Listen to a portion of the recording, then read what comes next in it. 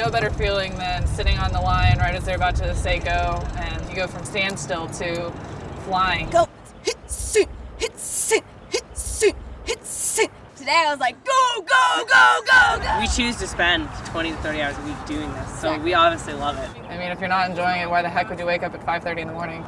Oh, I get up at 5.15. This is where we start our day at 5.45 in the morning. We do a warm-up run for about 10, 15 minutes. We go in the boathouse and while we're stretching and continuing to warm up, our coach will go over the workout for the day, the lineups that we're gonna row in, and then we're usually on the water by 6.10 and we're out there till just around 8. All right, guys, listen up. Oh. This. It's go around. Don't take it out in the water with you, but I want to talk a little bit about this. These are the lineups that you are probably racing in this weekend unless something happens. You know, I always have to add, that, again, this may change and people will be improving over the year and that might make a difference as well. Any questions about the next two or three days? What does L stand for on this? Lightweight. Lightweighting. Okay. Oh, So we don't have one of those. Okay, let's vote them. Be careful, one vote at a time. hands on, take the weight and out. Yeah. To shoulders, ready, split. A few more steps, a few more steps. Way enough, up and over heads, ready, up, ready, roll. Easy. Check your feet. Hey, check your wing nuts underneath the please. Slow down a little bit, slow it down. Okay, here we go. Down to the water, ready, roll. Yeah, Kelly Larson. Watch the blades. Rock it like a Cali would. Watch the bow, ladies. Blades out. Ah, yeah, big shove, ladies. Big shove, okay? In two, one, two. Yeah, and down. Whoa, who are these little people always yelling at us? And I tell them I'm a coxswain. The first of all, they're like, coxswain, what's that? And then I tell them, oh, I'm a little person on the boat that yells. And they're like, oh, you say row. There's a lot of rhythm talk, hit, sit, hit, sit, like that. But there's no row, row. So I'm in the middle of a race and I've got 20 things I'm thinking about. They want to know where they are in the race, how much time it's been, what their rate is, what's the other team's doing, how fast do we need to go, how much farther are we going, what does my stroke look like, are our catches together, a multitude of things that I'm talking about continuously. I don't stop talking. when you're too tired to think, she does. Yeah. So when you're making a mistake, she can literally call out your seat either by saying Abby or by calling out your number seat, and you're late or you're early. So instead of you pulling and thinking, you just hear and you're like, I've got to. They really control the whole boat. A lot of people don't realize how much they do. Okay, get a grip. Don't let the wind flip out of your hands. Ready? Up and over heads. Ready? Up. Oh, there was a wind. So this is my Cox box, and right there is the stroke rating, 16 and a half. It's a pretty low stroke rating.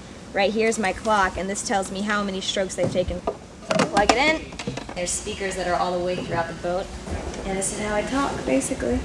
There's a magnet here, and then there's one right under the seat. So right now I'm getting 33 stroke rate. So that's what we race at.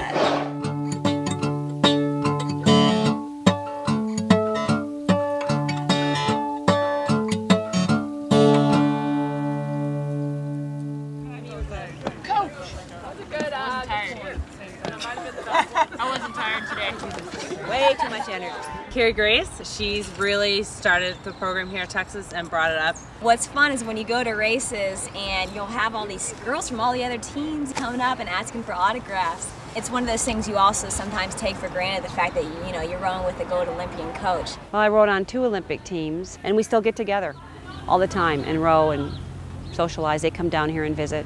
We won, we went home. That was it. Way down. Take it down the waist and down. Hug it.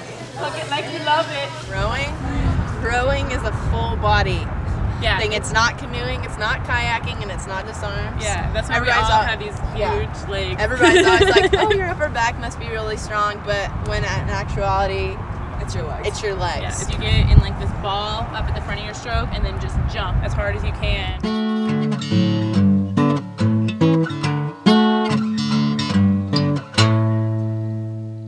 An erg is a rowing machine. Presumably, people with better erg scores make the varsity boat. That's not always the case, but it's often the case. You could be the best person on the erg and not the fastest person on the water. Rowing on the water requires a lot of technique and a lot of applying power in all the perfect places. You can get pretty bad blisters on your hand. Mine aren't too bad right now.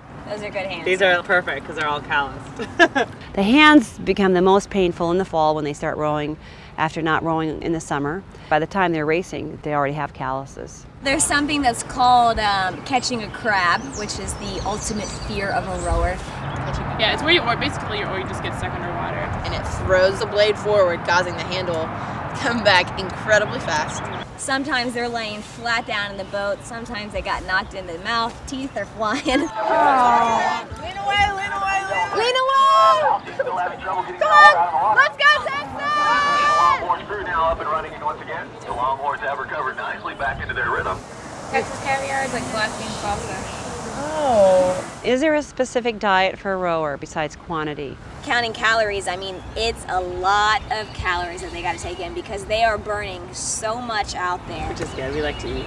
We're all big girls. Pedal. Bring the boats together. Switch three seat. Want change that? Switch two seat. Not three seat, two seat. Sometimes uh, we don't appreciate how beautiful it is out here. It's hard to remember sometimes when you're out there sweating and in a lot of pain. Everybody's just rowing full power and you can see the sun come up. It's pretty amazing. I think Town Lake is one of the top 10 places in the country in terms of protected water. It's usually pretty flat, which just makes for good, fast racing. We are 15 minutes till race time. Uh, scratch that. 12 minutes till race time. The Longhorn Invitational is a regatta, traditionally the race after our spring break. It's a good measure of how we're doing in the season and just to get us out in the water and race.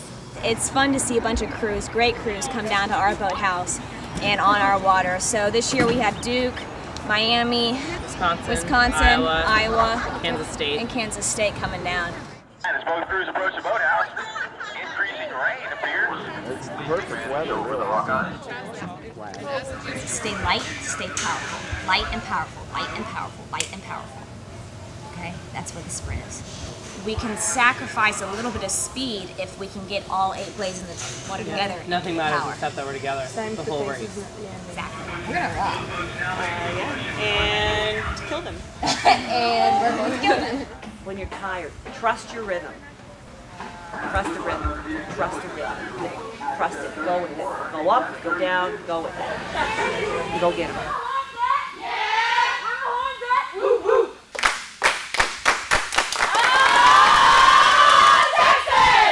Here we go, hands on this side. And the Longhorns first across 1500 meter mark with a time of 5 minutes and 12 seconds. Oh, Wisconsin!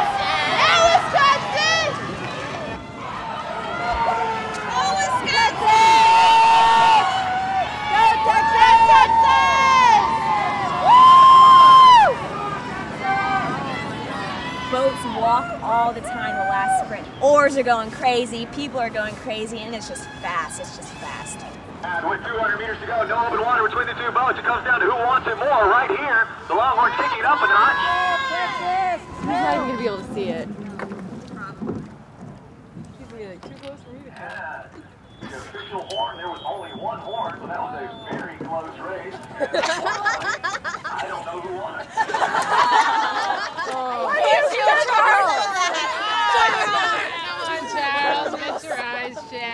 Oh, that start was amazing. Comparatively. Wisconsin. yeah, Wisconsin's amazing. Yeah, There was yeah. It's killer. We have the results from the last race. Duke finishes first with a time of 6 minutes and 42 seconds. Even Texas shortly behind, 6 minutes 42.2 seconds. After seeing how they did it, we rowed a lot steadier and had a lot more to give in our finishes. So you learn from everyone you race with. You say, what did they do well? We can incorporate that and keep what we're doing well. Next year, I'll be going on to law school and training with the Canadian national team. Yes, I'm a Canadian citizen, but I'll always be a proud Longhorn. I'm hoping to stick around in Austin. There's a lot of good things in this town that I love, so I'm just gonna find a job for a couple years and see where it takes me after that. Rowing is not easy.